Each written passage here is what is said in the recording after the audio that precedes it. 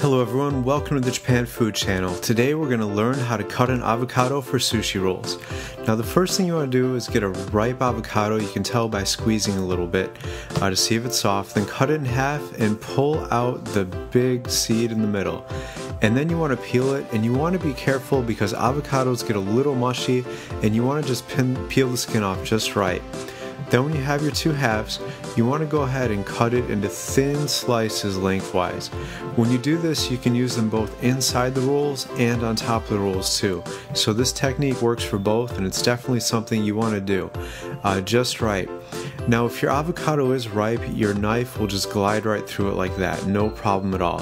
What we usually do is we take a little slice of lemon, not too much, but just enough to prevent a little bit of browning, because as you know, avocado turns brown quick and then it doesn't taste so good. Thanks for watching, we appreciate likes and comments, please remember to subscribe.